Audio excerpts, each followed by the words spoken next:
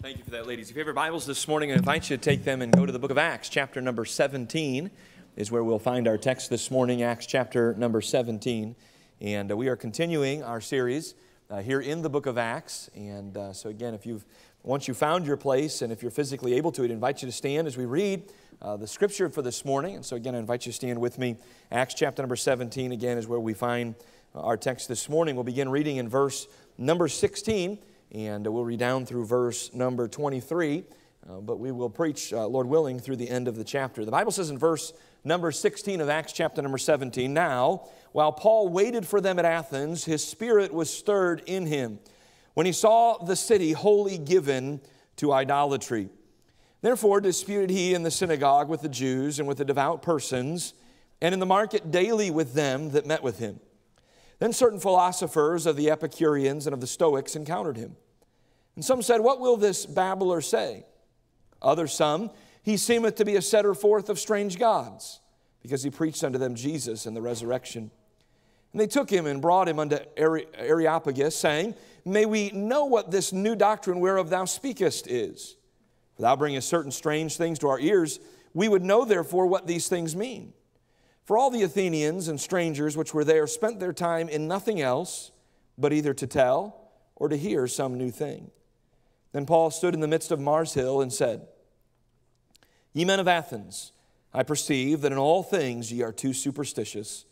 For as I passed by and beheld your devotions, I found an altar with this inscription To the unknown God, whom therefore ye ignorantly worship, him declare I unto you.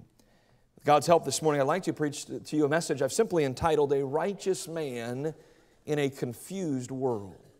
A righteous man in a confused world. Of course, Paul in our text would be the righteous man. The Athenians, the men and women of Athens, would represent the confusion that is so prevalent in our world today. Let's pray. Father, we thank you uh, for this morning. We thank you for Sundays, the opportunity we have to worship you. We thank you for the greatest story that has ever been told the birth of a little child in a manger in Bethlehem. Lord, to a, to a young gal who, uh, Lord, was a virgin. Lord, his birth, of course, would introduce him to our world, and of course, he would live a sinless life and he would die on a cross. He would be buried and he would rise again. Lord, it's still the same message that we're preaching today, all these years later. We pray that you'd help us as we preach it. Lord, fill me, I pray, with your Spirit's power. Lord, I pray that the audience would also have a filling, that they would listen. Lord, I pray that if there's someone here today that does not know Christ as their personal Savior, the message would be clear.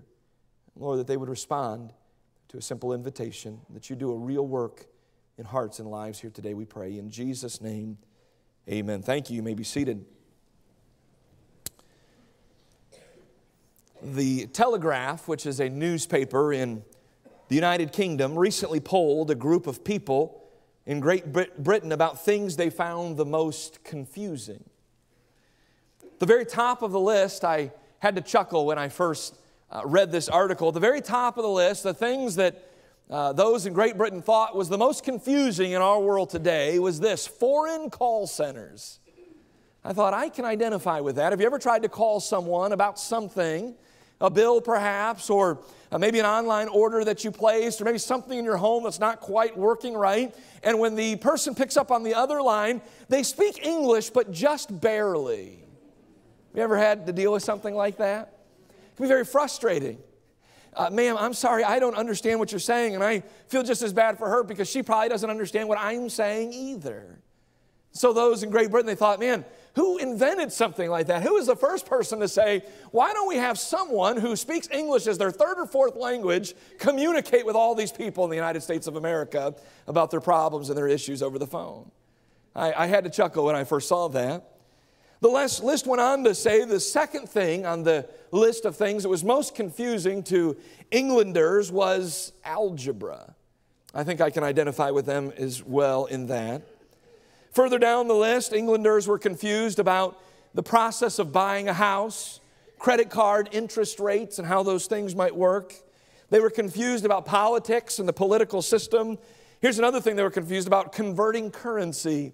I was recently in Canada and, and uh, spending some time there, and, and uh, I was going to make a purchase. And before I made the purchase, I had to pull my phone out and I had to do the, uh, what the exchange rate was and figure out, okay, how much is this going to really cost me in United States dollars and American dollars? And, and so they said that was a confusing thing for them. And also on that list was filling out insurance forms. Yeah, all of those things can certainly be quite confusing. Several years ago, we were visiting, I was visiting Eastern Europe, and, and uh, we, had, we had really made kind of a, a, round trip. We had spent some time in Hungary, and then we'd gone into Romania, we'd gone up to uh, Slovakia for a night, and then we had traveled to Vienna, Austria, and we had spent some time there. And uh, we had to go back to Budapest to catch our flight the next morning.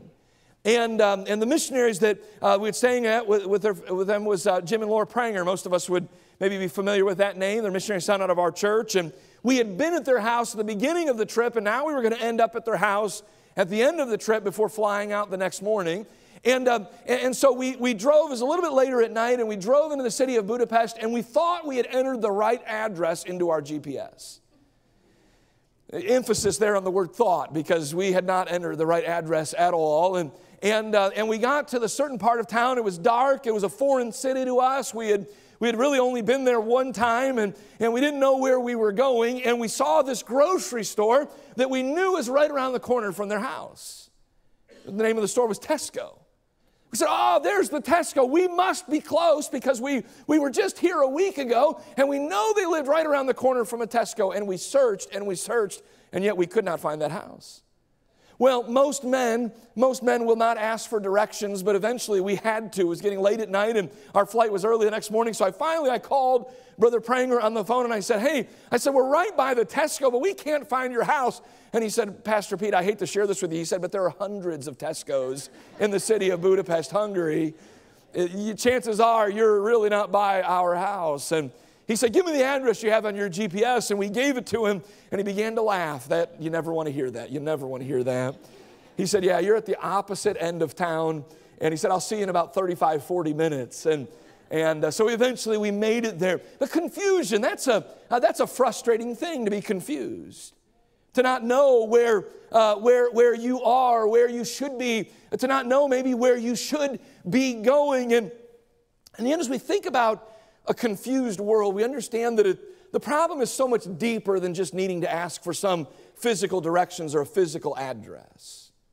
The problem is so much greater than just the frustration that comes by picking up a phone and dialing it, and the person on the other end uh, perhaps doesn't speak English as their original or their first language, and perhaps they have a, a heavy or thick accent, which makes it hard to understand. When I speak about a confused world, I'm talking about something so much greater uh, than the confusion that we've referenced here. I'm talking about a confusion of who God is. How can He be known? Where can we find Him? Does He exist at all? And, and how do we really know that He exists? We've never, we've never seen him with our physical eyes. We've never heard him with our literal ears. We've never touched him. We've never handled him. How do we know for sure that there really is a God. A simple Google search of does God exist will give you 5,450,000 results. If you try typing in, is God real? I did it this, this, uh, earlier this week, you'll find 268 million different results on Google, on the internet. People asking the question, is God real? Does God exist? And how can we know Him? If he is. You know, this is not a new question. In fact, in our text, we find the city of Athens, the men, the philosophers in the city of Athens wrestling with the same question. Uh, this question is not really even relegated to the uneducated. For we find that the city of Athens was one of the most well educated groups of people in all of the world. The, uh, the, the, the, city of Athens was known as the intellectual capital in the world at the time. It was the home of Socrates and Plato, two great philosophers. It was a university city where much learning and education went on, and, and it was filled with cynicism, and it was filled with pride and arrogance against the less educated or perhaps the completely uneducated. In other words, if you had not spent a certain time in some uh, place of higher learning, then you really didn't have much to say, and we really aren't all that interested in, in your philosophy or your viewpoint. Uh, Athens was the home of art. It was the home of literature. It was the home of oratory and religion. It was the home of mathematics, and it was also the home of political science. Athens, here, listen, Athens illustrates well what knowledge amounts to apart from God.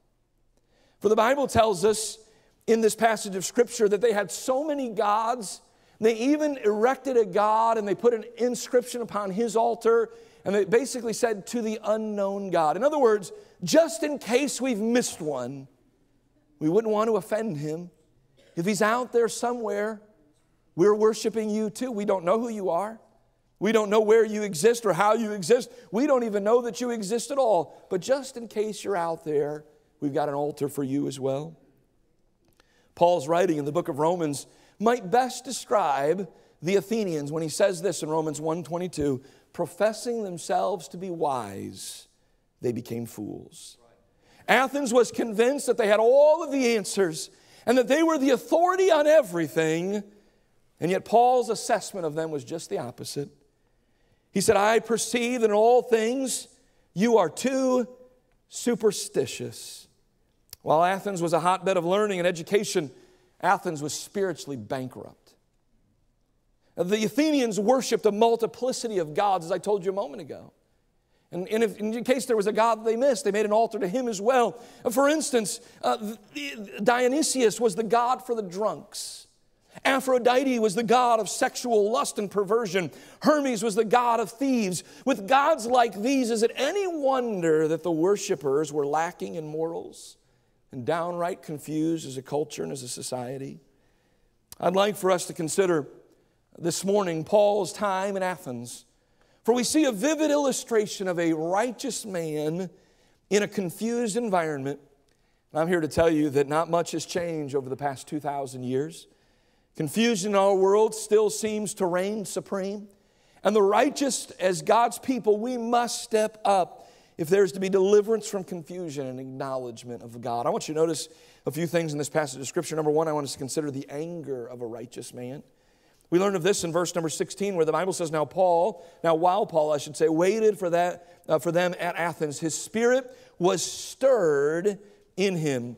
Now, the Bible tells us in Acts 17 and verse number 16 that his spirit was stirred in him. The word spirit uh, is a Greek word, it's a medical term that occurs only here and in one other place. The other place in the New Testament appears is 1 Corinthians 13 and verse number 5, where Paul says that love is not easily provoked so the word stirred and the word provoked here are one in the same. Uh, here's, here's basically what this means it means this that Paul was filled with a righteous indignation as he looked around at all of the gods that filled the city of Athens, as he saw all of the immorality and all of the wickedness, and as he saw all of the confusion, he was filled with anger. You ask yourself the question Paul, who are you mad at? Who are you angry with? Are you angry with the priest down at the local temple in which men and women come into this place not to worship God but to satisfy their own fleshly lusts? Is that who you're angry at? And Paul would have told you, I'm not angry at the priest. We'd ask Paul, well, who are you angry at? Are you angry at the, at the political leaders in this city that uh, that, that, that allow wickedness and, and evil and wretchedness that allow these things to, to go on and to transpire? Are you mad at the political leaders in the city of Athens? Paul would have said, I'm not mad at the political leaders here in the city of Athens. Oh, I know who you're mad at, Paul. You're angry and stirred and filled with wrath at the men who sit up there on Mars Hill, the philosophers who literally spend their whole day just to, uh, just to learn some new thing or to tell some new thing. That's who you're mad at, right? Paul would have said, No, not mad at any of those people. Paul would have said, I'm not mad at a man or a woman, but I have a hatred and a disdain for the devil, for Satan who, who has twisted what God has tried to do. Who has turned man against God and, and, and, who has taken man's sin nature and carried it to a level that was never certainly intended to be. Paul would have said, I'm not mad at the priest, and I'm not mad at the governor or at the mayor or the president. I'm not mad at, at the philosophers, the educators in the university, the professors and the teachers. No, no. Paul would have said, I'm mad at the devil himself. Amen. And I'm afraid we as Christians sometimes get that mixed up that we, we have a frustration, we have an anger that rises within us. It's a righteous anger. It bothers us when we see wickedness going on in our society, in our culture. When we see it uh, being perpetuated and it being allowed, and we, we even see it being celebrated, and we're filled with anger at perhaps maybe some elected political leader. Or maybe we're filled with anger at some, some movie maker in Hollywood that he would produce a movie that has this type of thing in it or this type of language. In reality, our anger oftentimes is a misplaced anger. For I think that our anger ought to be directed at the devil himself. Paul, Paul's anger was directed at Satan. Paul wrote this in 2 Corinthians 4 and verse number 4 In whom the God of this world hath blinded the minds of them which believe not, lest the light of the glorious gospel of Christ, who is the image of God, should shine unto them. I want you to know that Satan's greatest work is to put blinders on lost humanity that they might never see Christ. And that's what angered Paul. That's what stirred him up. That's what provoked him. You know, as we sit here this morning, I, I hope you hate the devil. I hope you don't hate your neighbor. I hope you don't hate your father or mother or your brother or sister who maybe you're carrying on all types of wickedness and terrible living. I hope you don't hate a political party or, or somebody that has a philosophy that's different than yours. I, I hope you hate Satan. I hope you hate the devil.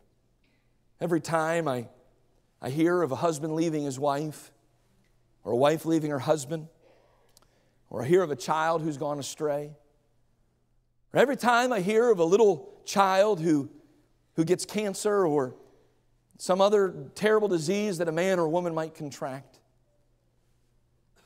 It ought to well up within all of us a hatred for the devil because he started all of this. With his, with his lies and with his deceit there in the Garden of Eden. May God help us when we're filled with anger, as we oftentimes are, for it to be directed at the right place and the right source. For I propose to you that if you have an anger and a hatred, in a, in a, in a frustration with your, with your neighbor or your family member or coworker, you have a very hard time reaching them with the gospel. But if you have an anger at the devil, you understand the reason why this person does what they do. The reason why they say what they say and they participate in what they participate in is because the devil has blinded their eyes as the God of this world. May God help us to hate the devil. Listen, not just to hate the devil in the lives of other people, May God help us to hate the devil in our own lives as well. For far too often, we as Christians sometimes cozy up to sin and temptation. We dabble and play games with the devil ourselves. We open up the door to temptation and to wickedness and to evil. May God help us. We see here Paul, this righteous man, in a confused world. We see, first of all, his anger, but notice, secondly, his argument. The Bible says in verse number 17, therefore disputed he in the synagogue. Now listen, Paul didn't just get upset, his anger moved him to action. He actively, the Bible says, disputed and debated, or maybe we could use the word argued with those in Athens that they might repent of their idolatry and that they might believe in Jesus. You can understand why Paul was so stirred by this. Paul was a Jew. the first, the first couple of of commandments given by God to the Jewish people were about, were about other gods. Thou shalt have no other gods before thee. And, and here's Paul, he walks into this city, and, and it's, it's ingrained in him as an individual and as a person. It's part of his culture, it's part of his people. And he looks around and he sees a God dedicated to every single thing that you can possibly imagine. And he's filled with anger, and he's stirred, he's provoked. But he didn't just sit on that anger. He didn't allow it to grow within him and to well up and to bother him to the point where he, he, he walked away and did nothing. No, he, he sat down with people and he disputed with them. He tried to show them the truth. He asked the question, Who do you argue with? The Bible tells us. He argued with the Jews in the synagogue in verse number 17.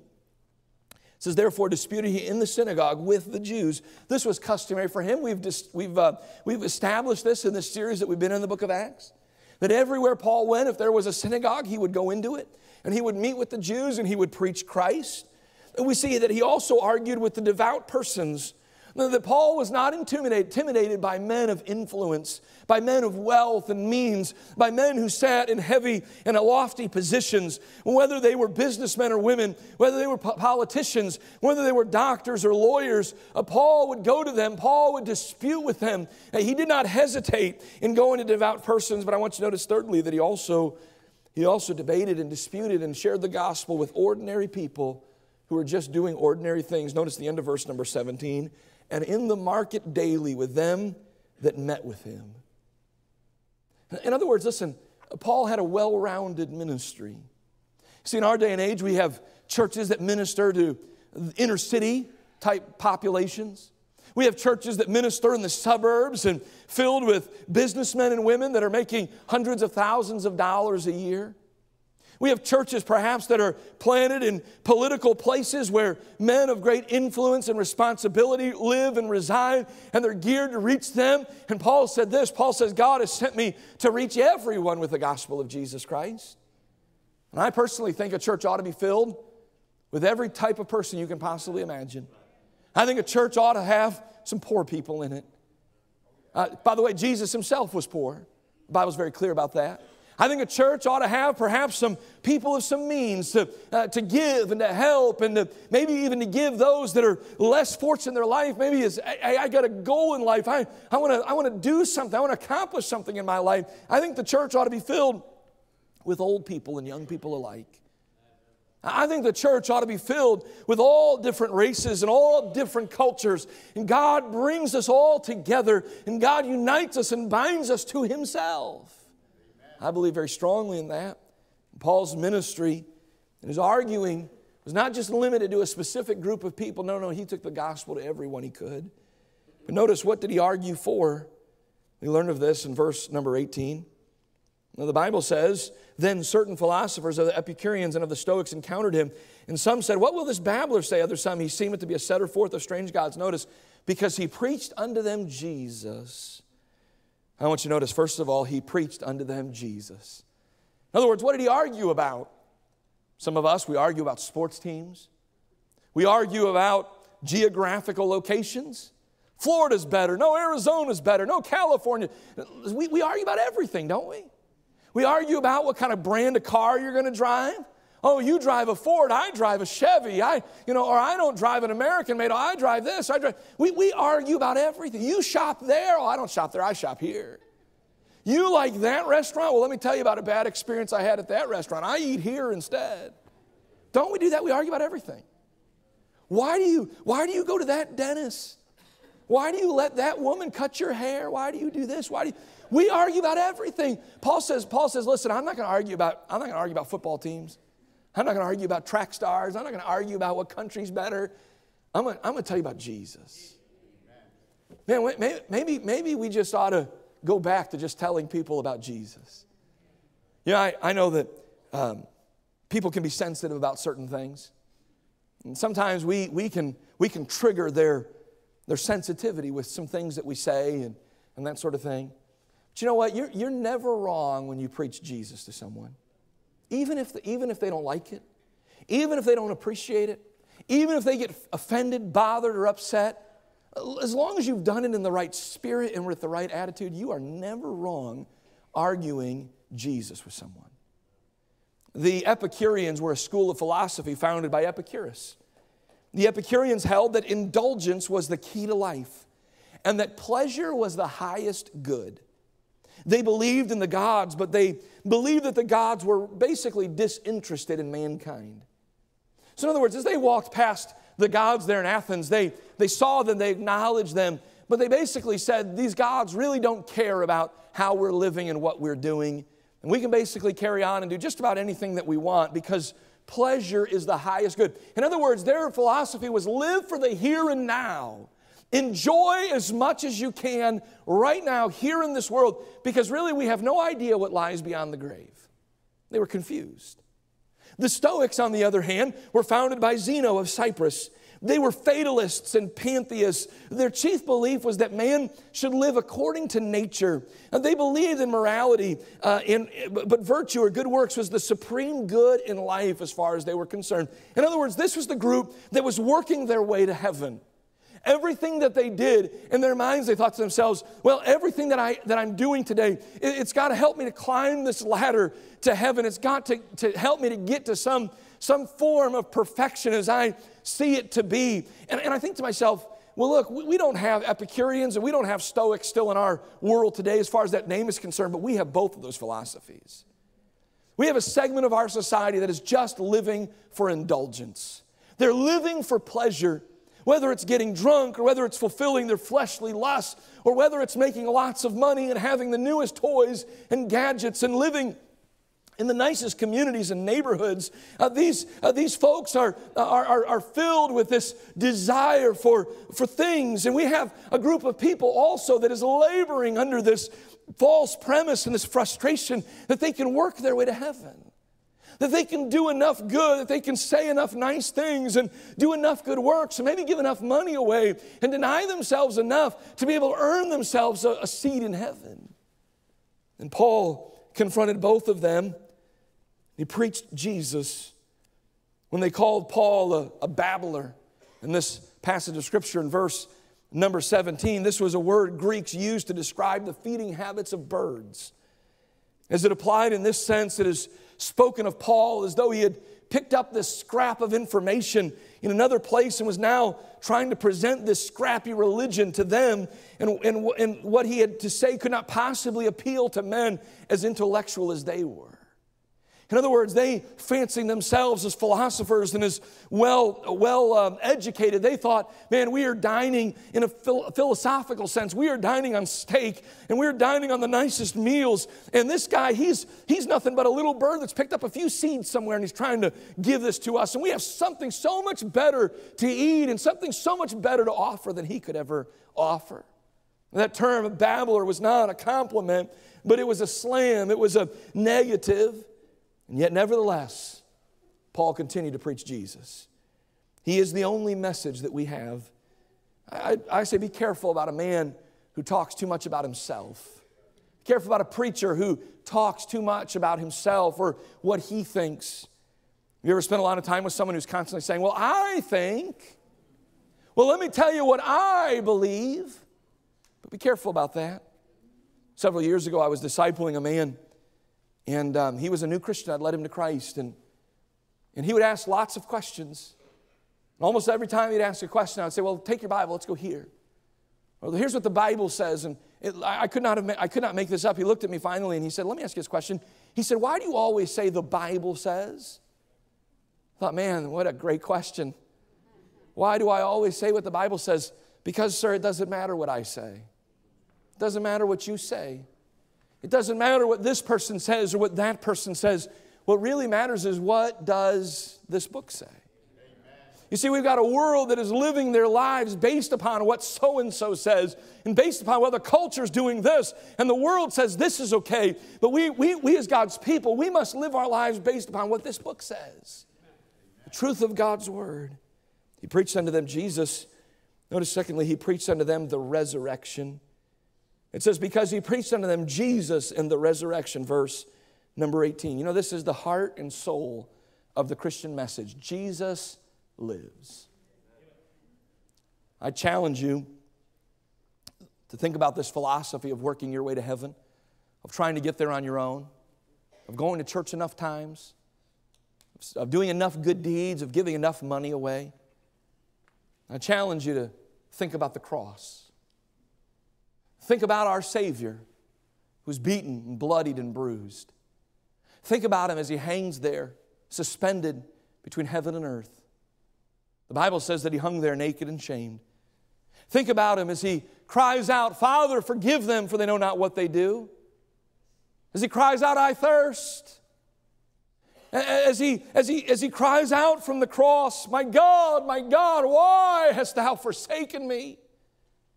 As he ultimately and finally cries out, It is finished. And ask yourself the question if you could, if you could go to church enough times, if you could give enough money away, if you could be good enough, if you could be kind enough, if you could love enough, then why would he have to go through that? Why would he have to subject himself to that?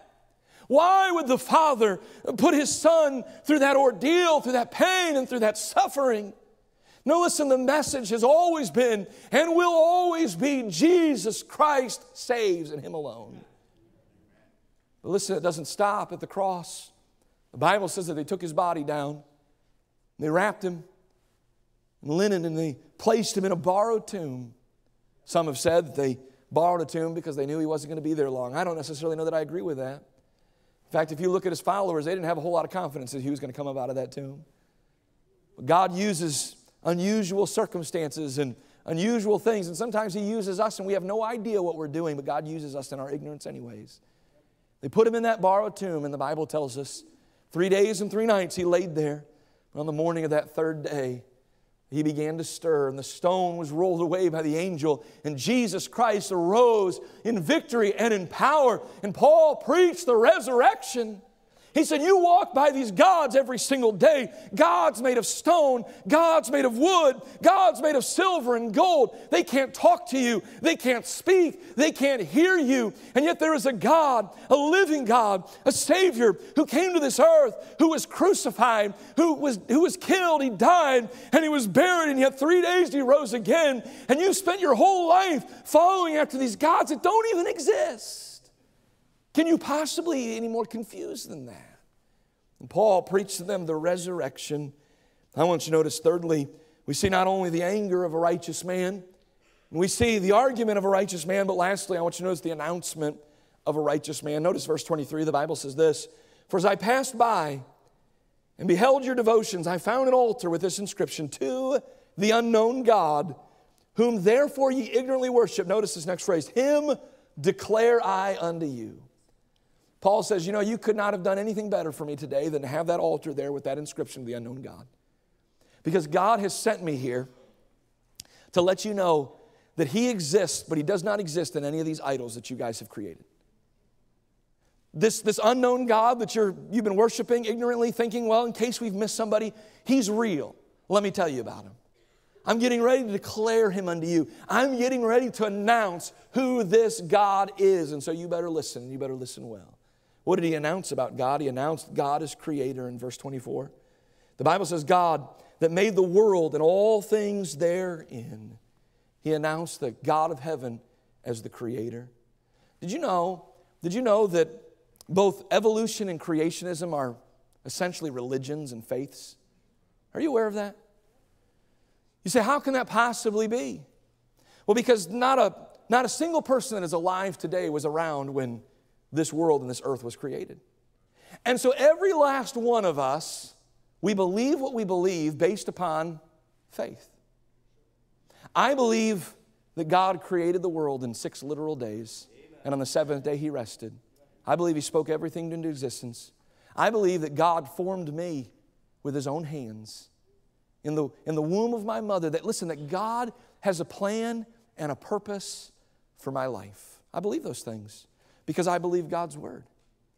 And the evolutionist, he believes that all of a sudden one day there was a huge explosion and everything came to be that is today and and that really we have no purpose, we have no mission, we have no goal in life because we're all just randomly formed beings and creatures. He wasn't around when his explosion, quote unquote, his explosion happened. And I wasn't around when God said, Let there be light, and there was light. And so, therefore, both of us believe what we believe based upon faith.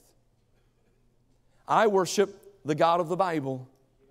I believe those who practice and believe in evolution, I believe they worship the God of this world. A God that is doing everything in His power to blind the eyes of them who do not know who God is. And He'll use anything in His power and so he announced God as creator, he announced God as sustainer in verse 25. Neither is worshipped with men's hands as though he needed anything, seeing he giveth to all life and breath and all things. Listen, I've already touched on this, but a graven image has no power to give life and to keep life going forward, seeing it has no life to begin with. And graven images are fashioned by man's mind and, and by his own hands. He conjures up this thought in his mind and he, and, he, and he creates this God of his own making. But that God has no life. He's stone, he's, he's wood, he's, he's, uh, he's gold or, or, or silver. Notice, notice number three, he announced God is near. Look in verse 27. That they should seek the Lord, if happily they might feel after him and find him, though he be not far from every one of us. You know, Paul told the men of Athens, he said, Listen, God's not far away, God's very near. You know what I'm here to, t- to, to tell you that are here today? Hey, listen, God's not very far away, God's very near. Say, How close is God? He's as close as you want him to be. He's right here in this book. He can be right here in your heart and in your life. He's only, listen, he's only a prayer away. God is near. He announced God is real in verse number 29. For as much then as we are the offspring of God, we ought not to think that the Godhead is like unto gold or silver or stone, graven by art in man's device. He says God cannot be contained in a precious jewel. God cannot be contained in a piece of wood or a block stone. He announced God is real. But notice he announced God as judge. Look in verse 30, the Bible says, In the times of this ignorance God winked at, but now commandeth all men everywhere to repent, because he hath appointed a day in the which he will judge the world in righteousness. You know, for a long time, God winked at the ignorance of the Athenians. He wasn't okay with it, but he allowed it to go on. He suffered it to be so. Paul says that day is over because I've come with this message you know, it's possible that you might have walked into this room this morning and you've done what you've done in life because that's all you've known. You've not known anything else.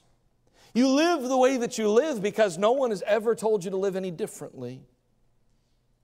And maybe for the vast majority of your life, God has essentially winked at you. Not that He's not planning to judge you, but He's allowed you maybe to get away with some things that you shouldn't have gotten away with.